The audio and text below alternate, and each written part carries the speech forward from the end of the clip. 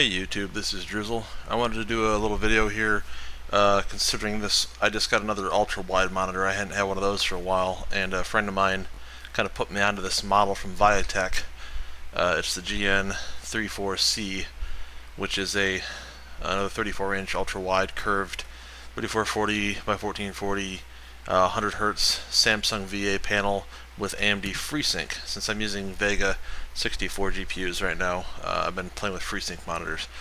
And once I got it and I was using it, I thought the FreeSync was working okay. Um, and as it turned out, like it really wasn't even working most of the time because the range on this thing is really bad. The FreeSync range is only 80 to 100 hertz, which is really stupid because that means you've got to have at least a frame rate of 80 frames per second pretty much all the time, or FreeSync doesn't even work.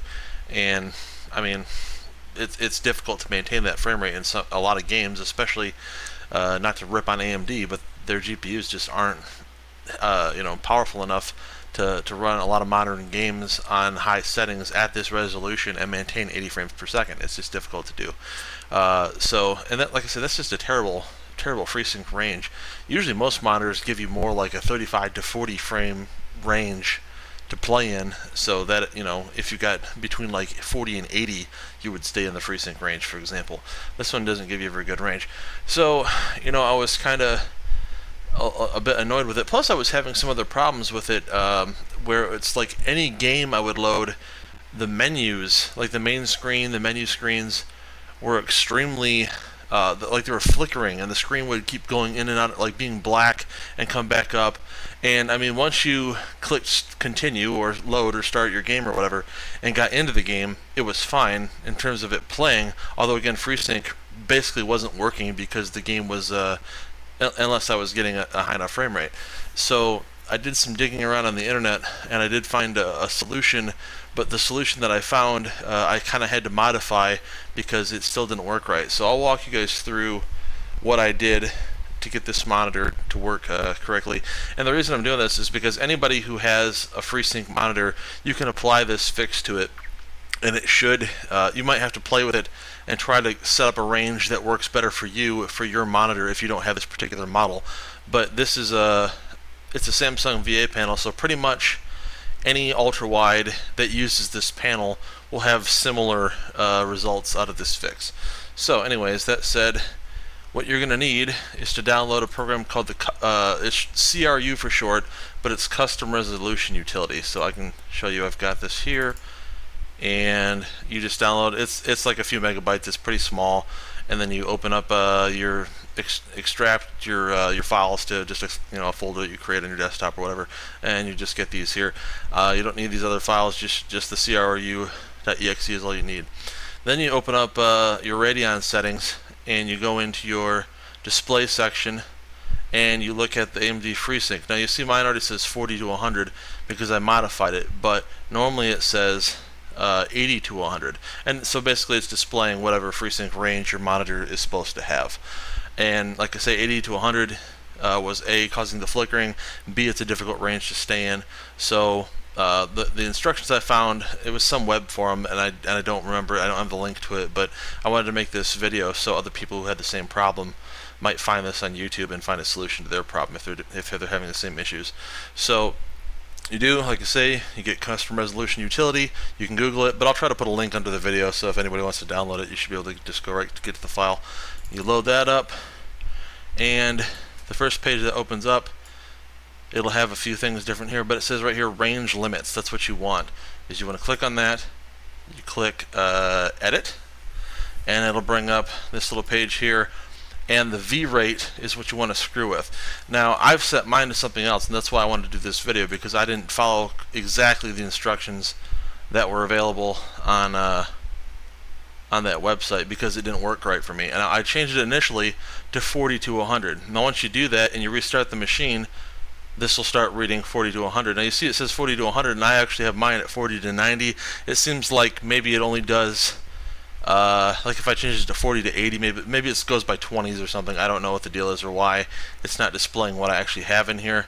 But when I had it at 40 to 100, I had all that black screen flashing, flickering crap on um, on the different menus of the game. Like even if you just like hit escape, and for example, like I was playing Mass Effect Andromeda for a minute, just to see uh, how it looked on here and how well it would run, and it was having that same problem. Like even once you got into the game, if you hit escape to go into the game menu, you couldn't really navigate it because it was flashing and made it impossible to see what you were doing. Like it's basically like the monitor is borderline shutting off and on again, or, like losing signal and coming back. I think is probably a more accurate description of it. So it would black out and come back fairly rapidly, but make it damn near impossible to read menus or to select anything because it was constantly cutting out. So uh, what I did was I set it from 40 to 90 hertz. Now, granted, you're losing 10 frames per second that the monitor is capable of displaying, but 90 frames a second is still good. Uh, and most most people don't get above that kind of a frame rate on a resolution this high anyway. So uh, I, I can't really tell the difference between 90 and 100 frames per second to the naked eye. I'd say it's pretty damn similar. So once you have set that up and you restart, you'll have again your FreeSync range from 40 to 90 frames a second. Then you come back in here and you go into gaming and you want to go into your global settings and you want to change the frame rate target control to 89. That makes sure it never goes to 90 because 90 is the end of the range. So you want to make sure that your frame rate sits at 89 or less all the time. That means that you can have anywhere from, you know, that gives you a 49 uh, frames per second range where you'll stay in FreeSync. And I'll go ahead and load up a video here, or a game here in a second, because it works really well. Um, I didn't used to like FreeSync that much, and the fact of the matter is, is most monitors that I've used that have had it have had like bad range, what I would consider to be a very small range, a difficult range to stay in. Um, you know, different problems. And what, now that I've found this solution, uh, I have a 4K FreeSync monitor. I should really try this on that too, and to see if I can expand the range or find like a sweet spot where it works really well. But I think I will try to load up. I was playing uh, Witcher 3 on it last night for a few minutes. Uh, it was one of them that was like the menus were really bad and flickering and was making it basically impossible to play the game. And uh, I'm going to see how well this works for you guys now, but it was working very well last night. Some other problems I've been having is that um, my computer's been hard locking up during gaming, and I don't think it was doing that prior to me getting a FreeSync monitor. So I think FreeSync is causing my P PC to hard lock up in certain games. And so I'm hoping that this uh, particular set of steps has, you know, made the FreeSync range such that maybe, uh, you know, maybe that was the problem it was having before, is it was trying to stay in a range it couldn't achieve, or whatever the case might be. Hard to say, but maybe this will solve that problem for me too. So we'll load this up. Now granted, this game uses some uh, NVIDIA effects that AMD cards won't be able to do, like the hair works and some things are handled by the CPU instead of the GPUs, but the game still looks really good, and this will, uh, we'll see if it runs pretty well. It was doing good last night. Okay.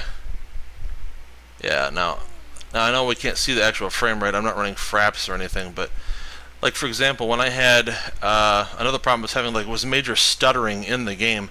It wasn't even like a frame rate drop. It was like like this weird jerkiness, uh, like massive stuttering. The, the FreeSync was clearly having a problem, like with the image trying to tear, and it wouldn't let it tear, and it would just keep jerking the image really hard, especially around this area here when I was facing the water, I was having that problem. I don't know how well this is translating to YouTube, but I mean, this is just buttery smooth, 3044 by 1440, everything's on max settings. Uh, this is running on dual RX Vega 64s. Um, I don't even know if this game really takes advantage of Crossfire very well. I guess I should play around with that. I think it does. Okay. But uh, I think on, even on a single card, I should be able to hit at least that 40 frames per second that I need to get in my FreeSync range. So as you can see, I mean, it looks pretty good to me. I don't seem to be having a single problem with it.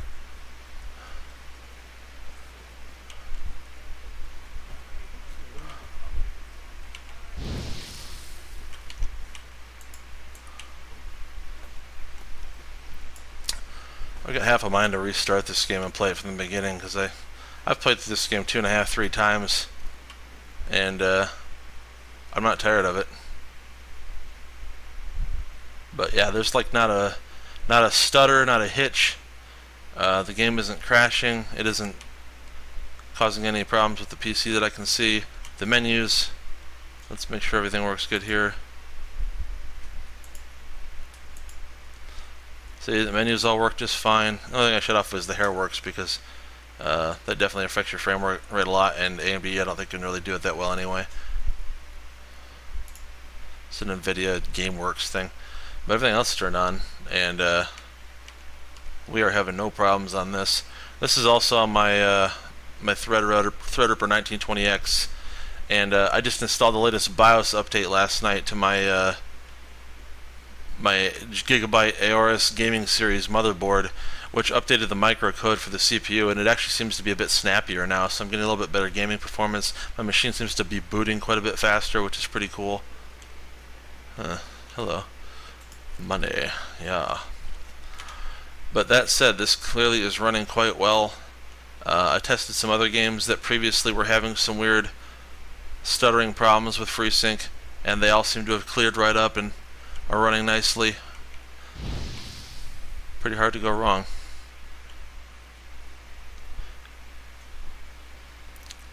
Buttery smooth. Has no problems at all. Looks great. So that said, uh, if anybody has any questions, be sure to put them in the uh, comment section and I'll try to answer them as soon as possible. Uh, usually pretty quick about responding to anybody posting on any of my videos and I will make sure to put up a link for the uh, custom resolution utility so you can go ahead and set this up. But like I said, if you have questions on how to do it, uh, you know, if I wasn't clear enough in the video or something, just go ahead and make sure to ask below. But I'm having a great time with it now, now that it's working correctly. So thanks for watching. Uh, maybe click the like button. Maybe throw me a subscription if you want to continue to watch the channel. And I'll keep trying to put up interesting stuff like this because this to me, this is interesting to me. I like figuring out and finding solutions to weird hardware problems that, uh, you know, or hardware or software problems. But anyways, thanks for watching. Guys, have a great one. Later.